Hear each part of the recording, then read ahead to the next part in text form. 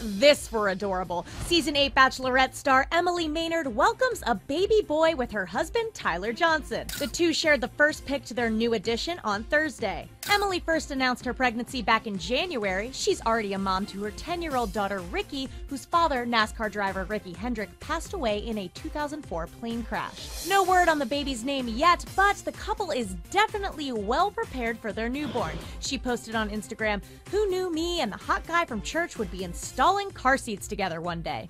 Emily and Tyler have been married since last June. She was previously engaged to Bachelor Brad Womack in 2011 and then to Jef Holm on The Bachelorette in 2012 before splitting with both after their respective season finales.